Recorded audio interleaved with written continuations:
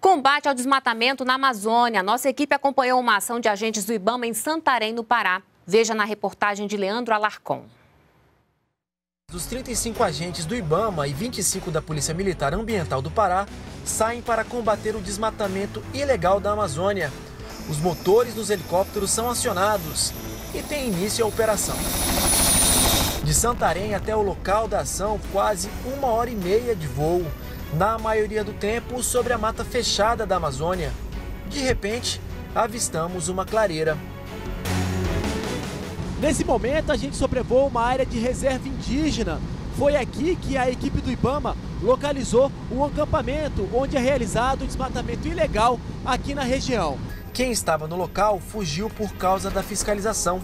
Deixaram para trás lonas, marcas de pneu na estrada, que também foi aberta ilegalmente. Pousamos próximo dali. Fomos até uma madeireira. No local foram apreendidos pelo menos 2 mil metros cúbicos de madeira.